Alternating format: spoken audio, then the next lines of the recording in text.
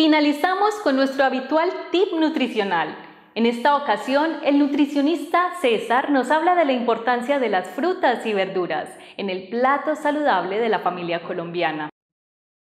Hola, un saludo muy especial a las personas que nos visualizan el día de hoy en estos medios de comunicación, Antena 4 y Redes Sur.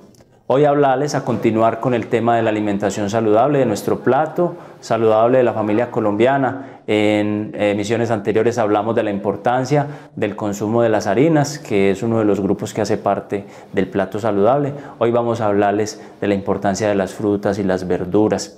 Estos dos grupos de alimentos son grupos de alimentos ricos en vitaminas, en minerales que nos van a ayudar a regular nuestro metabolismo y que tienen cada uno de ellos una función específica, una función específica dentro de nuestro cuerpo.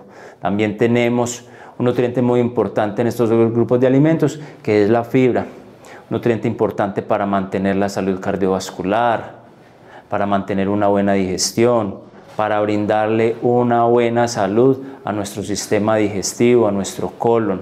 Son dos grupos de alimentos que al mismo tiempo tienen un aporte de energía, de calorías bajo y que por ende nos van a ayudar también a regular nuestro peso, a controlar nuestro peso.